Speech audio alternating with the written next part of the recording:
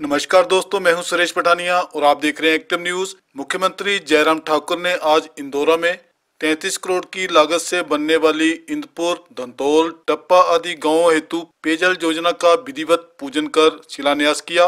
व साथ ही 45 लाख रुपए की लागत से जसूर गंगत इंदौरा मार्ग का सुधारीकरण का कार्य का भी शिलान्यास किया। उसके बाद मुख्यमंत्री ने इंदौरा में बनने वाले मिनी सचिवालय भवन की आधारशिला रखी। इसके बाद उन्होंने 12 करोड़ रुपए की लागत से बनने वाले बाई इंदौरिया प्राल कंक्रीट मार्ग का नींव पत्थर रखा। वहीं उन्होंने श्री बद्री विशाल मंदिर में पूजा अर्चना की और वहाँ गौ सदन के विस्तारीकरण का कार्य का शिलान्यास किया। इस अवसर पर स्थानीय विधायक ने माननीय मुख्यमंत्री जयराम ठाकुर व उनके साथ आए पशुपालन मंत्री वीरेंद्र कंवर, स्वास्थ्य मंत्री विपिन परमार, शहरी विकास मंत्री सरवीन चौधरी, विधायक राजेश ठाकुर, विधायक अरुण कुका, विधायक रविंद्र धमान सहित हज़ारों की संख्या में उपस्थित जनसमूह का अभिनंदन किया। पेश है संबंधी हमारे सहयोगी संजीव महाजन की एक रिपोर्ट। का माध्यम सौ दो सौ वोटों का माध्यम और सतारह सीटों पर लगभग हमारा मार्जिन जो है वो एक हज़ार वोट से कम रहा है।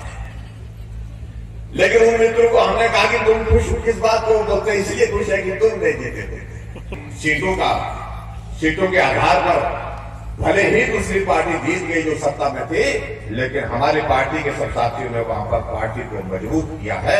पहले तीन सीटें थी, अब आठ सीटें हैं। हम इस बात को कहना चाहते हैं कि इस बात को लेकर के हमारे मित्र को खुश होने की कोई वजह बनती नहीं है।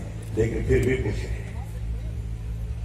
कई घरों में हमने कहा, ये जिम्मेवारी हमको निभानी चाहिए। हम क्या कर सकते हैं? और हमने तय किया, स्वास्थ्य विभाग की ओर से नई योजना करनी चाहिए। हमने हिमाचल प्रदेश में हिम केयर के नाम से योजना शुरू की।